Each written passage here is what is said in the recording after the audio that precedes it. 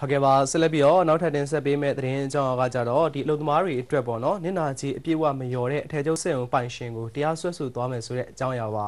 ဒီစက်ရုံပိတ်သိမ်းပြီးနောက်ပိုင်းနင်နာကြီးငွေပေးမယ်ဆိုပေမဲ့လည်းပေါ့နော်ဒီအကြေပေးချေခြင်းမရှိသေးတဲ့အတွက်ရန်ကုန်မြို့လှိုင်သာယာဒီရွှေလမန်းစက်မှုဆောင်မှာရှိတဲ့လောင်းထက်တာအထည်ချုပ်စက်ရုံပိုင်ရှင်ကိုအ လုပ်သမားတွေကနေတရားစွဲဖို့အတွက်ခုံသမားရုံးကိုတင်ထားတယ်ဆိုပြီးတော့သိရပါတယ်ခင်ဗျဟုတ်ပါတယ်လာဝန်းထက်တာအထည်ချုပ်စက်ရုံကအလုပ်သမားတွေအတွက်ပေးဖို့ကြံနေတဲ့လုတ်သက်ခွင့်ရဲ့နောက်ပြီးနစ်နာချင်း59သိန်းဒီပေါက်ကိုတော့အောက်ဂလ9ရက်နေ့မှာပေးဖို့အတွက်အလုပ်ရှင်တွေဘက်ကနေချင်းဆိုထားခဲ့တာပါ ဒါပေမဲ့လည်းအလုပ်ရှင်ကသတ်မှတ်ထားတဲ့ချင်းဆိုရက်ပြက်ကွက်ခဲ့တဲ့အတွက်အခုလိုမျိုးတရားစွဲဆိုဖို့လုပ်ရတာပါလို့လည်းအလုပ်သမားတဦးကနေပြောထားတာပါဒါတွေနဲ့ပတ်သက်ပြီးတော့လည်းလာဝန်းထက်တာအထည်ချုပ်စက်ရုံမှာလှုပ်ဆောင်ခဲ့တဲ့အလုပ်လုပ်ခဲ့တဲ့အလုပ်သမားတဦးရဲ့ပြောပြမှုတွေကိုတင်ဆက်လိုက်ပါတယ်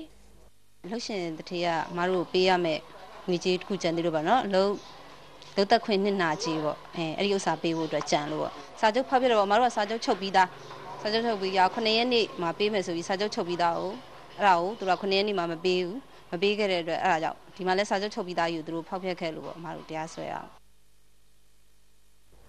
ဒီမှာဆိုရင်ဒီအလုရှင်ဘက်ကပေါ့နော်ဒီညနာချင်းငွေဒါနဲ့ပတ်သက်ပြီးတော့ဒီပြက်ကွက်ခဲ့တဲ့အတွက်ကြောင့်လှိုင်သာမြို့နယ်အလုရှင်လူသမားညှိနှိုင်းဖြန်ပြေးအဖွဲ့ဒီအဖွဲ့အနေနဲ့ကလည်းပဲလောင်းထက်တာအထည်ချုပ်စက်ရုံကိုစာချုပ်ဖောက်ဖျက်မှုနဲ့အော်ဂလာ9ရက်နေ့မှာခုံသမားရီရုံးကိုဒါတင်ပြထားတယ်ဆိုပြီးတော့လည်းပဲသိရပါတယ်ဒါရင်းနဲ့ပတ်သက်ပြီးတော့လည်းပဲဒီလှိုင်သာမြို့နယ်ပေါ့နော်အလူသမားဆက်ဆံရေးဦးစီးဌာနကဦးစီးအရာရှိရဲ့ပြောဆိုမှုတွေကိုဆက်လက်ပြီးတော့တင်ဆက်ပေးလိုက်ရပါတယ်ခင်ဗျာ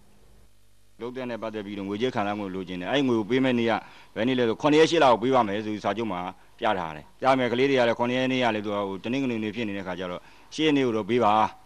ဆိုပြီးတော့ဒါဟိုသူတို့နဲ့သဘောတူညီမှုယူထားလိုက်တယ်ပေါ့ဒါပေမဲ့10ရက်နေ့မှာလည်းသူတို့ကလာမပေးဘူးလာမပေးတဲ့ကလေးတွေကလည်းအဲ့ဒါမကျင်တာနဲ့ပဲသူက10ရက်နေ့လည်းကြတော့ကျွန်တော်ဒီလာပြီးဒီဥစ္စာကိုတရားဥပဒေနဲ့အညီအမှုဖွင့်ပေးပါဆိုတဲ့အခါကျတော့ကျွန်တော်ကလည်း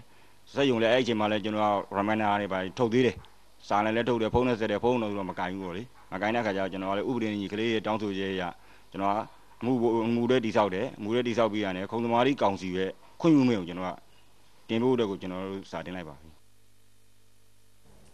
ဟုတ်ကဲ့ပါကိုရီးယားပိုင်လာဝန်းထက်တာအထည်ချုပ်စက်ရုံကိုတော့အလုပ်ရှင်အနေနဲ့ပြီးခဲ့တဲ့ဇွန်လ25ရက်နေ့ကကြိုတင်အကြောင်းကြားခဲ့ခြင်းမရှိဘဲနဲ့စက်ရုံကိုပိတ်လိုက်တာလည်းဖြစ်ပါတယ်။ ဒါကြောင့်မဲဆက်ရုံလုပ်သားတွေက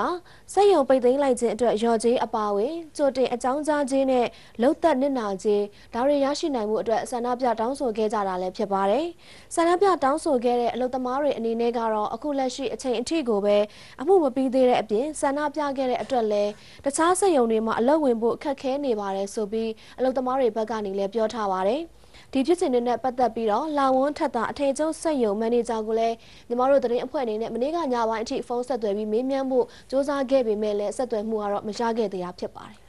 ဟုတ်ကဲ့ပါအခုဆိုရင်ဒါတင်ဆက်ပေးခဲ့တာကတော့ Good Morning ညီမပထမပိုင်းကနေသတင်းကြောင်းတွေကိုတင်ဆက်ပေးခဲ့တာပါ